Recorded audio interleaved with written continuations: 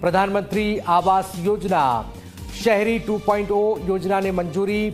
હવે મકાન લેનારને મળશે ઇન્ટરેસ્ટ સબસિડી સ્કીમનો લાભ.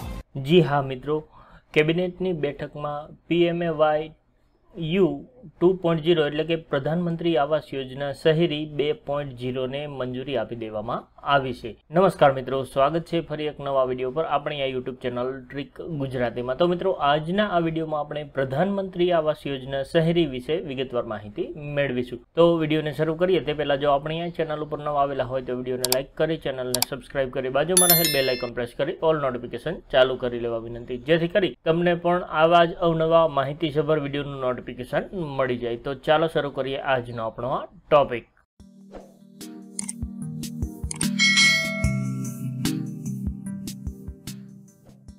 તો મિત્રો, કેબિનેટની બેઠકમાં પ્રધાનમંત્રી આવાસ યોજના શહેરી ટુ પોઈન્ટ ઝીરોને મંજૂરી આપી દેવામાં આવી છે. જે અંતર્ગત હોમ લોનમાં રૂપિયા એક લાખ અને એંસી હજારની સબસિડી મળવાપાત્ર થશે. તો આવાસ યોજનાની આ ખૂબ જ ઉપયોગી એવી માહિતી છે. તો વિડીયોને છેલ્લે સુધી જોતા રહેજો. જેથી કરી જો તમે પણ હોમ લોન લેવા માંગતા હોય તો કેટલી સબસિડી મળશે, કેવી રીતે મળશે તે તમામ માહિતી તમને ખ્યાલ આવી જાય. તો ચાલો હવે આપણે વિગતવાર માહિતી મેળવતા જઈએ. તો મિત્રો, પ્રધાનમંત્રી આવાસ યોજના શહેરી એટલે કે PMA Y U two point ઝીરોને મંજૂરી આપી દેવામાં આવી છે. તો તે અંતર્ગત આપણે જાણીશું કે પ્રધાનમંત્રી આવાસ યોજના શહેરી ટુ પોઈન્ટ ઝીરોનો હેતુ શું છે? આ ઉપરાંત આપણે જાણીશું આવક વાઇઝ ગ્રુપ અને આવક મર્યાદા કેટલી નક્કી થયેલી છે. યોજનાનો લાભ કોને મળશે? પીએમએવાય વન પોઈન્ટ ઝીરો અને ટુ પોઈન્ટ ઝીરો એ બંને વચ્ચેનો મુખ્ય તફાવત શું છે તે પણ જાણીશું. પાત્રતાના ધોરણો જાણીશું અને હોમ લોન પર કેટલી સબસિડી મળશે આ તમામ માહિતી આપણે આ વિડીયોમાં મેળવવાના છીએ. તો વિડીયોને છેલ્લે સુધી જોતા રહેજો. ત્યારબાદ મિત્રો આપણે આગળ જોઈએ કે આ પ્રધાનમંત્રી આવાસ યોજના શહેરી એટલે કે PMA Y U two point ઝીરોનો હેતુ શું છે? તો મિત્રો PMA Y U two point ઝીરોનો હેતુ મધ્યમ આવક જૂથ અને શહેરી ગરીબ પરિવારોને શહેરી વિસ્તારમાં પરવડે તેવા મકાનો બાંધવા, ખરીદવા અને ભાડે આપવા માટે નાણાકીય સહાય પૂરી પાડવાનો છે. આ ઉપરાંત દરેક નાગરિકને પાક્કા ઘર આપી અને તેમના જીવનની ગુણવત્તા સુધારવી એ આ પીએમએવાય યુ ટુ પોઈન્ટ ઝીરોનો મુખ્ય હેતુ રહેલો છે. તો મિત્રો, હવે આપણે જાણીએ કે આ પ્રધાનમંત્રી આવાસ યોજના શહેરી અંતર્ગત ઇન્કમ વાઇઝ ગ્રુપ કયા કયા છે. તો સૌથી પહેલાં આપણે જાણીએ PMA Y U one point zero એટલે કે જે યોજના બંધ થઈ ગઈ છે, તેમાં આવક વાઇઝ જૂથ કઈ રીતે હતા? તો મિત્રો, તેમાં સૌથી પહેલી કેટેગરી હતી ઈડબ્લ્યુએસ એટલે કે ઇકોનોમિકર વીકર સેક્શન અને એલઆઈજી એટલે કે લોઅર ઇન્કમ ગ્રુપ અને તેમના માટેની આવક મર્યાદા હતી જીરોથી લઈ અને છ લાખ સુધીની. ત્યાર પછી બીજું ગ્રુપ હતું એમઆઈજી વન એટલે કે મિડલ ઇન્કમ ગ્રુપ વન તેમના માટેની આવકની મર્યાદા હતી છથી લઈ અને બાર લાખની જે લોકો આવક ધરાવતા હોય તેને એમઆઈજી વનમાં સમાવેશ કરવામાં આવતો હતો. અને ત્યારબાદ ક્રમ નંબર ત્રણ ઉપર છે એમઆઈજી ટુ એટલે કે મિડલ ઇન્કમ ગ્રુપ ટુ તો જે લોકોની આવક બારથી લઈ અને અઢાર લાખ સુધીની હોય તેઓને એમઆઈજી ટુમાં સમાવેશ કરવામાં આવતો હતો. તો આ પ્રમાણે મિત્રો જે પ્રધાનમંત્રી Awas Yojana urban one point zero હતી, તેમાં મેક્સિમમ રૂપિયા અઢાર લાખ સુધીની આવક ધરાવતા હોય તેવા લોકોને લાભ મળવાપાત્ર થતો હતો.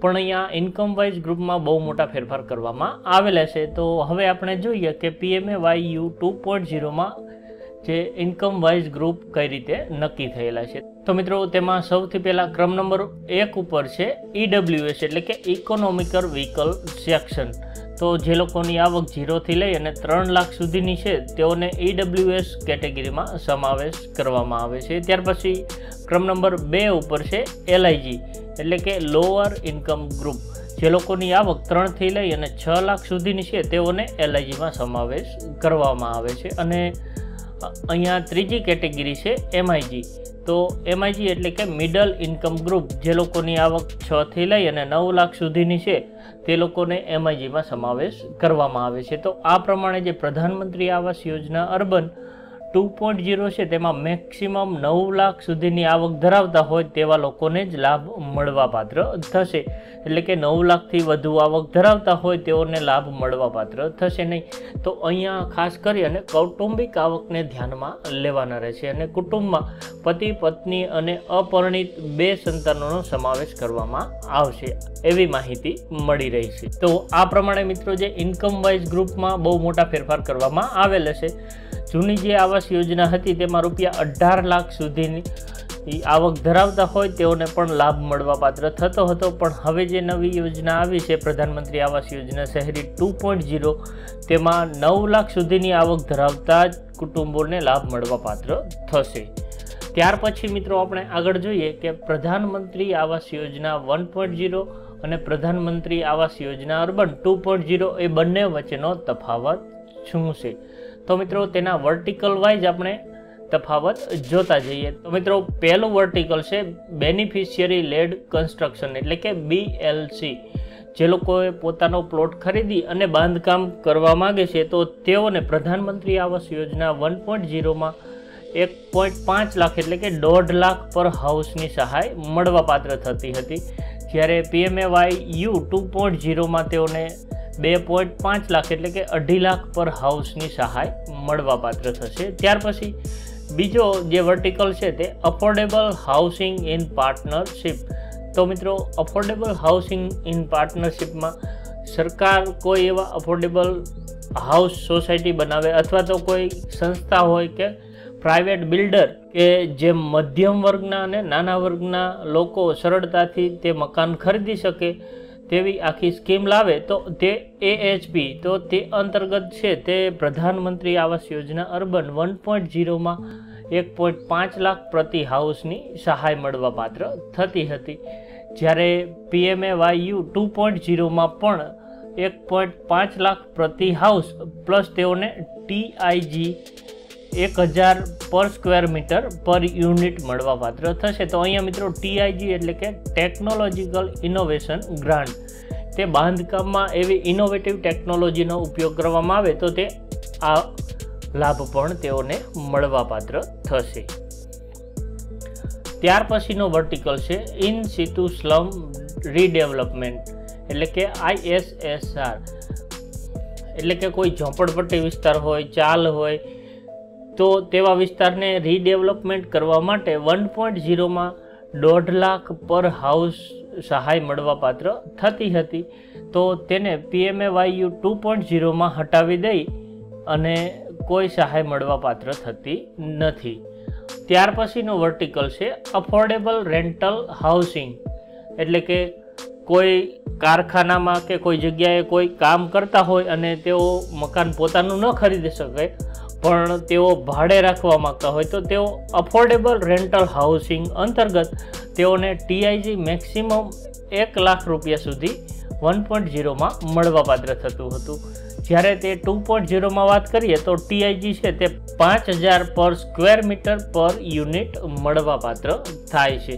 અને છેલ્લે મહત્ત્વની જે ઘણા બધા લોકોએ લાભ લીધો છે, તો તેની વાત કરીએ તો સીએલએસએસ જે પીએમએવાય વન પોઈન્ટ ઝીરોમાં સીએલએસએસ એટલે કે ક્રેડિટ લિંક સબસિડી સ્કીમ તરીકે ઓળખાતી હતી, તેને પીએમએવાય યુ ટુ પોઈન્ટ ઝીરોમાં આઈએસએસ એટલે કે ઇન્ટરેસ્ટ સબસિડી સ્કીમ તરીકે ઓળખવામાં આવશે. તો તે અંતર્ગત વન પોઈન્ટ ઝીરોમાં છે તે બે પોઈન્ટ સડસઠ લાખ પ્રતિ હાઉસ સહાય મળવાપાત્ર થતી હતી અને તે સહાય છે તે સીધી જ જે તે વ્યક્તિના લોન એકાઉન્ટમાં એકી સાથે જમા કરવામાં આવતી હતી. જ્યારે ટુ પોઈન્ટ ઝીરોમાં તે સહાય છે તે ઘટાડી અને એક લાખ એંસી હજાર પર હાઉસ કરી દેવામાં આવી છે. અને આ સહાય પણ તમને એક સાથે તમારા લોન એકાઉન્ટમાં નહીં મળે, તે પાંચ યરલી ઇન્સ્ટોલમેન્ટમાં મળશે.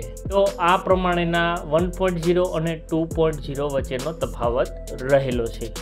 તો મિત્રો, હવે આપણે જોઈએ કે આ યોજના માટેના પાત્રતાના ધોરણો જોઈએ, તો આ યોજના હેઠળ છે તે ચાર ટકા વ્યાજ સબસિડી મળવાપાત્ર થાય છે અને તે મેક્સિમમ આઠ લાખની લોન ઉપર મળવાપાત્ર થશે. એટલે કે તમે દસ લાખની પણ લોન લો છો તો તમને આઠ લાખ સુધીની લોન ઉપર જ ચાર ટકા વ્યાજ સબસિડી મળવાપાત્ર થશે.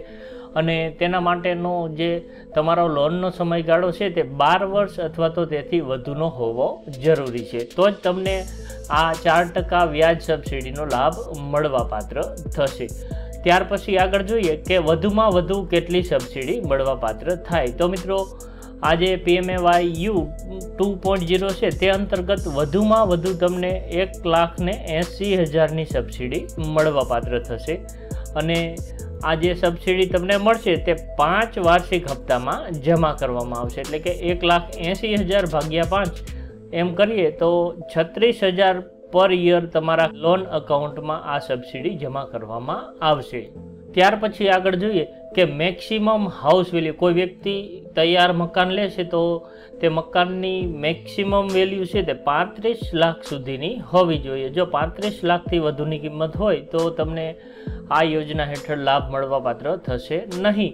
અને મેક્સિમમ લોન કેટલી હોવી જોઈએ તો કે હોમ લોન છે તે વધુમાં વધુ તમે પચીસ લાખ સુધીની હોમ લોન લો તો જ તમને આ જે વ્યાજ સબસિડી છે તે મળવાપાત્ર થશે. તમે પચીસ લાખથી વધુની લોન લેશો તો તમને એક પણ રૂપિયો સબસિડી પેટે મળવાપાત્ર થશે નહીં. તો આ પ્રમાણે મિત્રો જે પ્રધાનમંત્રી Awas Yojana urban two point ઝીરોમાં ઘણા બધા ફેરફારો કરવામાં આવેલ છે. તો મિત્રો આશા રાખું કે જે હોમ લોન સબસિડી માટેની જે કેબિનેટ દ્વારા મંજૂરી આપવામાં આવેલી છે, તેના વિશેની વિગતવાર કેટલીક માહિતી છે તે તમને ખ્યાલ આવી ગયો હશે. જ્યારે આ યોજના સંપૂર્ણ રીતે ચાલુ થઈ જશે, ત્યારે આપણે અલગથી એક વીડિયો બનાવીશું અને તેમાં વધુ ડિટેલમાં. આ ઉપરાંત મિત્રો, જમીન રેકર્ડ, દાખલાઓ, સરકારી યોજનાઓ, સરકારી ભરતી, આધાર કાર્ડ, પાન કાર્ડ અને બીજી ઘણી અન્ય ઉપયોગી માહિતી માટે આપણી વેબસાઇટ ટ્રીક ગુજરાતી ડોટ કોમની મુલાકાત લેતા રહેજો. આ ઉપરાંત આપણી ટેલિગ્રામ ચેનલ પણ છે. તો તમને ટેલિગ્રામ ચેનલની લિંક અહીંયા જોવા મળી જશે. અને ડિસ્ક્રિપ્શનમાં પણ આની લિંક આપેલી છે.